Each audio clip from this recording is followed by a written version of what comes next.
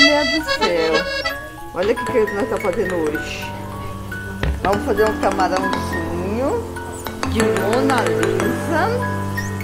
E olha aqui, o fritando. Meu Deus, a manteiga. Ó. Eu faço a, o, o camarão é na manteiga. Eu não faço só no azeite.